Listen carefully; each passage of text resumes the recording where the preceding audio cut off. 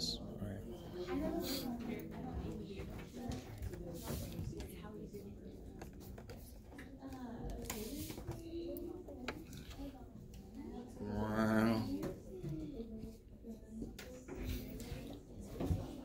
All right, guys, here we go. So when I give you this kind of problem, I'm always going to give you these blank spaces because I am way too nice. So obviously I'm hoping that even if you have no idea, you can fill in these blank spots. So this should be 92, 73, 11, this, huh? Everything right? What's up? I'm okay. And then, what is that, 116? 126. And then 50? Sweet. If you add something up wrong, I'm going to take points off for that. And then if you did all the work correct, I'm not going to take any more points off. Do you understand? But double check at the beginning that all your numbers are right, or else your probabilities are all going to be wrong. Um, so I did see a few people doing this, right? So I'm not picking on any specific person, but I saw a few people doing that. Uh, that doesn't make any sense for this because if I had more Grossmont students, the probability should increase. This probability would decrease. That doesn't make any sense. I'm not looking for a specific Grossmont student, right? So that's not right. How many people could it be? I don't know anything about the person, so it could be 176. In fact, all of these are going to have 176 on the bottom except which one? E, because E is a given. That means I can throw some people out. So then the total number of people I'm working with decreases. So the bottom's going to decrease. Uh, and then how many attend Grossmont? 126. And then whatever the hell that is. 7159? Okay. So almost 72%. Sure. Also, this didn't show up today, which is nice.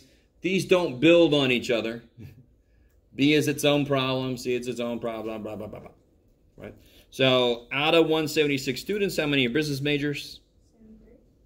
Who to what? That's computer science. 92. And then what's that? 5227. Okay, I like it. Shabbat. Now here's our first little wrinkle in the mix. Or, so now the number of things that match what I'm looking for should increase. But you don't, if I do 126 Grossmont students plus 73 computer science majors, not only is that wrong, it's like extra wrong. Because then you're going to get 199 out of 176. That's bigger than one. How do you do that, right? You've created people which I know humans can do, but not like this quickly, right? So either you can do 126 plus 73, but then you better subtract off how many that you counted twice? 62, right? If I count these people, these people, I counted them twice out of 176. Or you can just do 126 Grossmont students. How many computer science people have I not counted yet? 11. Either way, you end up with 137 out of 176, which is whatever the hell it is. 7784? Okay. I like it. Okay. And now we got our and, and this is where, dear God, you got to somehow remind yourself, do not even look at the formulas for this problem. Here's where it would really screw you up. If you use the formula correctly, it will work, but it will be a ton more work than you have to do. How many people meet both of these requirements? Two. There's only two people that are math majors and Cuyamaca students. Remember, and is intersection. Where do those inter intersect? Two. So two out of 176, because I don't know shit about the student. It could still be any of the 176. And then whatever the hell that is. Who to what? Zero, one,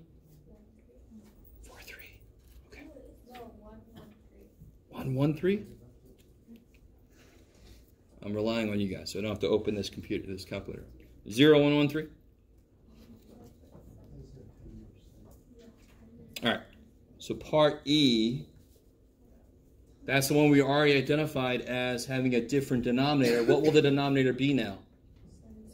Yeah, because I know it could only be a computer science. So what you can do is this. That's your whole world now right? It has to be a computer science student. So out of 73 computer science students, how many do what I'm looking for?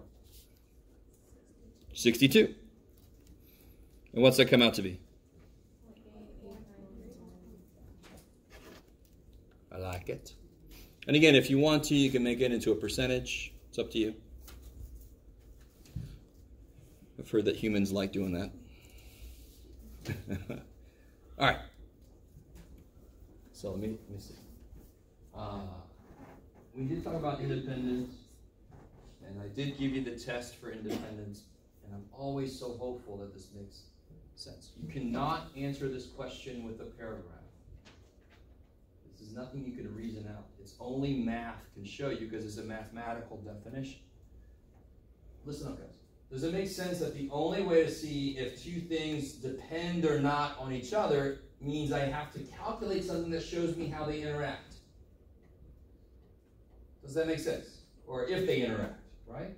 So I can't just say, no, probability of A does not equal probability of B. So, no, that doesn't mean shit. Uh, that's still two separate things. I got to see how they interact. And what's the only probability that shows me how they interact? The given. Tell me, if the probability of A, given that B happens, is different from what the probability of A was by itself, does A care if B happens? Let me say it again. If the probability of A given B is different than what the probability of A was to begin with, then obviously, let me just say like this, obviously A cares that B happened because it changed. The probability changed. Yes, no, maybe so? Did we talk about like the Harley Davidson example? Got myself in trouble a few semesters ago, and I don't give a shit. I'm going to do it again. Um, let's say you see somebody off in the distance, and they're so far away you can't quite tell yet if they're a man or woman. What's the probability that it's a woman? About 50%, right? Nature actually makes more boys because we die younger, but we'll say 50. Um, if I notice also that they just came off of a Harley Davidson motorcycle, is it still the same probability that it's a woman? No. Has the probability gone up or down? Down. Does that, did I just say, I remember this one semester I had a, a girl that wanted to take me out and beat me up, and I think she probably could have. I'm not saying that no women ride Harley Davidson motorcycles, am I? And that's not what dependent means. All dependent means is does the probability change at all if I know something else? If that's true, that's dependent, which makes complete sense. The probability of a woman depends on whether or not they just got off of a Harley Davidson. That doesn't say it couldn't be a woman if they did. It just says the probability goes down. No, yes, maybe so. It's hot again here. I know it's weird. It's like our own little full year as we are in. It's summer now again. Um, so, I have to check, is the probability of being a Grossmont student, is it equal to the probability that Grossmont given computer science? If computer science happens, if I know that's true, does the probability of being a Grossmont student stay the same? Is that true? Does the probability they're a Grossmont student stay the same if I know they're a computer science major? No. No. So this is not equal to each other. And then put numbers, show me. 0.7159 does not equal 0.8493. So are they independent? No. Done. Did I write many words? I wrote one word. If you start writing a paragraph, stop yourself because you're going to be wrong. This is a mathematical idea that we can talk about with English, but we have to investigate using math. Okay, maybe, maybe. I'm always so hopeful for this. Okay.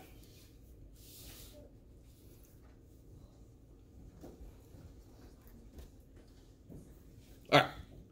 I like one card at random from the house in a box. I love it. Um, So the first piece of this is one card, so this shouldn't be too bad, right? What's the probability it's an AMC? How many total cards am I talking about? 23. Out of those, how many are AMC? Eight. Eight. So 8 out of 23, whatever the hell that is.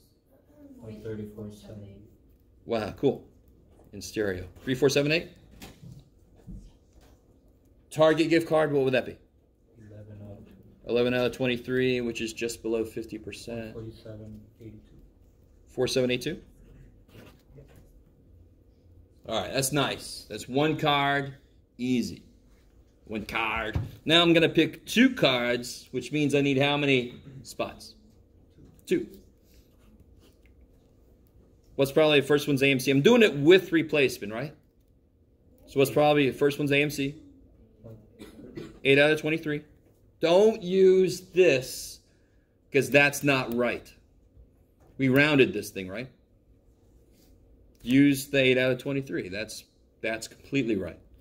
Uh, and then what's the panda? 4 out of 23 because I didn't lose any cards yet. I did it with replacement. And then whatever the hell that is. I have no idea. Point zero six zero five. 0605? Okay. And I knew to multiply because I wanted this to happen and then this to happen. Now here's a good situation where and is hidden. I want a target card and then another target card, right? Some of you guys are like, I don't want a target card. Well, I mean, it's problem. So 11 out of 23 times another 11 out of 23. Nothing changed. I put it back in. And then, you know, whatever that is. Yes. Can put.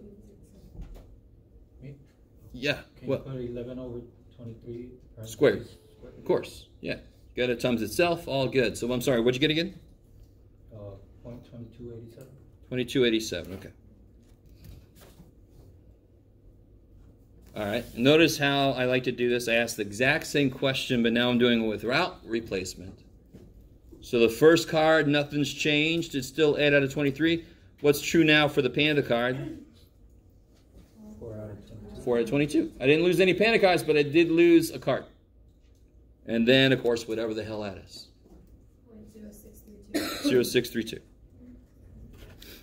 Two cards for target. 11 out of 23 times what happens on the next go round? Ten Ten, out of Yeah, one less target card, one less card. point two one, seven, 2 1 seven. 7 3. Funkadelic. Okay. Damn, it's getting hot in here now. What's up with that? We'll make it, don't worry. All right. Now we get to the funky one. This first one hopefully wasn't too bad. And you don't have to do it this way, but I just kind of like there's four, so I need four spots. Four spots. First one's got to think. Now, do you guys know that's a real survey? But just so you don't think even less about your fellow Americans, the way they wrote the survey was a little misleading. So that 7% really didn't mean all those people thought this. It was just worded kind of strange. But you know that some people, what's sad is that is actually not surprising, right? That's what's sort of sad. You're like, I could see that. Oh, shit. What does that say? So if you are a person that thinks that chocolate milk comes from brown cows, you're welcome. Now you know that's not true. That is bullshit, of course. Right? That would be really funkadelic.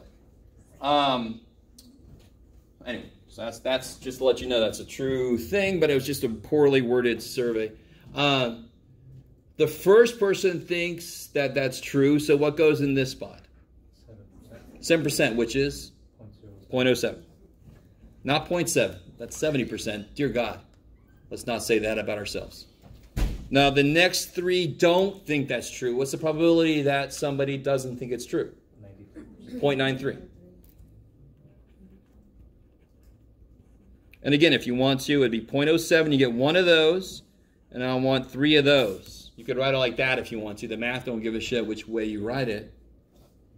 What do you guys get? Point zero five six three. Coolness. All right. Now, uh, I explained this next one to a few people, so you might have overheard me, or you might have been one of those people. Um,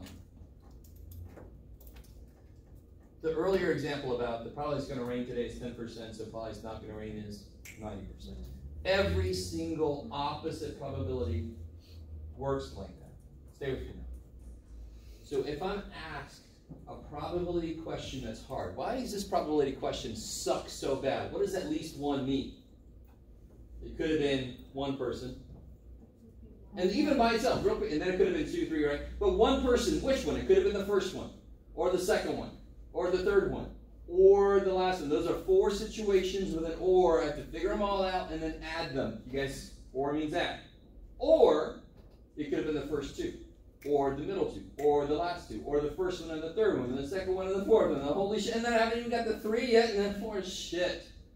You guys understand? There's so many things that match what I'm looking for. I'd have a lot of calculations to do. Oh shit if the opposite probability is easier, hell yeah. So it's like answering the opposite question, but then you do one minus, because then you'll answer the question. If I say what's probably going to rain today, and you say, there's a 90% chance it won't, you basically just answer me because one minus that is 10%. What's the opposite of at least one? None. The only way you could show I'm wrong is that at least one person in here likes statistics. The only way you can show me I'm wrong is to tell me that nobody does. And then we'll All right.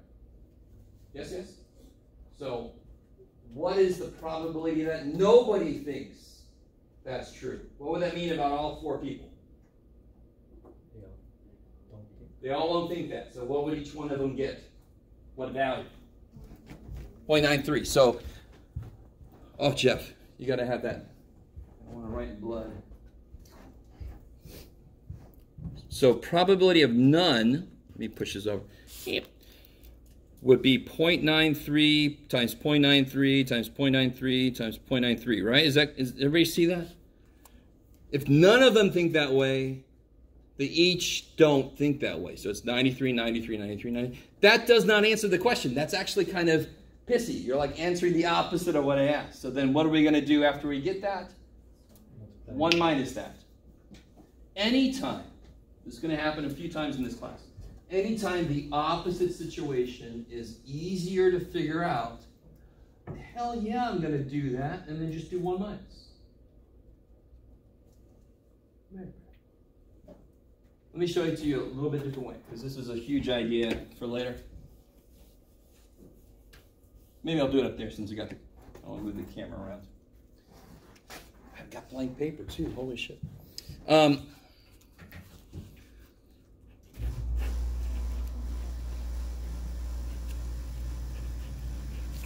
If I did this, this is like zero people, one person, two people, three people, four people, right? And whatever the hell these probabilities are, what's got to be true about all of them, they all have to add to be 1. So the probability of none plus the probability of 1, yeah, I'm doing this. Is this happening? Is he really? Yes, he is. Shit. All right. So that is, of course, a true statement. Yes, because I added up all the probabilities, got me one.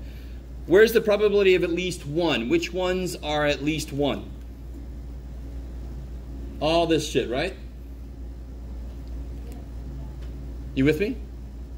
I like it. Some of you guys like, continue. So if I subtract this from both sides, the probability of at least one is 1 minus probability of none. Of course it is. 1 minus one chunk equals the other chunk because the two chunks make one. So how can you always do the probability of at least one? One minus the probability of none. And that happens a lot. I can kind of like, if I have a factory, I can check like 20 randomly selected parts, and if at least one of them is bad, I'm going to have to redo the batch. So what's the probability that at least one is bad? And I can figure that out using the none thing anyway. So that happens a lot in real life, this at least one thing. So what is 0.93 times blah, blah, blah, blah, blah?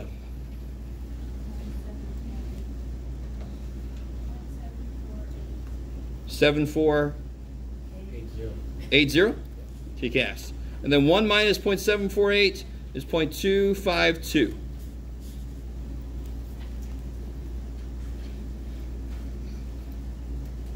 so that's how you do that one. And then the last one. And then we'll get out of here a little early. Yay. The funkiest one on here. I suddenly bring Brussels sprouts in, you're all like, what the shit? So let me do what a lot of you guys did. This problem, there's so many problems in the homework where the most important thing is figuring out the symbols for what they tell me and what they ask me. So if I call probability of B is the brown cow belief, right? The chocolate milk believers. What percentage of them are flat earthers? I don't know. I'm a flat. Shut up. So probably B is 0.07. So what? How do I? And, and what's the probability? What other thing am I introducing here? Brussels sprouts. I already used B, so let's use S. So what is this four percent that I'm telling you? What's the idea? What would it look like in symbols? The 4% would be the probability of what? B and S. And of course that is 0.04. And what is the sim what is the symbols for what I'm asking you? The probability of what given what? S. Yes, S given B. All right, let me stop there for a second. This is the step that a lot of people skip all the damn time. And if you didn't, your life would be easier. I've written symbols for what they tell me. I've written symbol for what they ask me. Now let me write the formula, and then I can see where the shit to put stuff in. So what's the formula for S given B? Shit. What goes on the bottom? B. Good. Probably a given thing. And on the top is, S and B. and I know all that, don't I? What's probably of S and B? 0.04. And what's probably of B? 0.07. So that's 0.5714? Maybe? Did I remember that right? That kind of scares me too. I know all my division by 7. Yay, Jeff. that is weird. Okay, I know that last one was weird, but that one I like that problem. Oh shit, I would. Because it's one where you can't count. You gotta use the formulas. And you gotta use symbols. So next time I will have the answer key for the other side of that. That's the practice quiz on the other side. And then the next time after that will be quiz time. Yay. Oh, I'm sorry. Last thing, somebody pointed this out to me.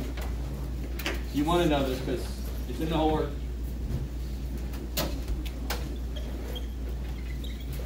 Mutually exclusive events. So if somebody tells me A and B are mutually exclusive, they can't happen at the same time. That's what mutually exclusive means.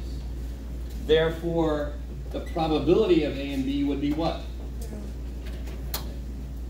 So if a problem starts with the sentence E and J are mutually exclusive events, stop. Write down probability of E and J equals zero. Keep going now. People skip that first sentence and they're like, how do I do this problem? I'm like, well, you didn't give yourself that information. You need that. All right, that's enough. Don't forget your IDs. Give me back my calculators.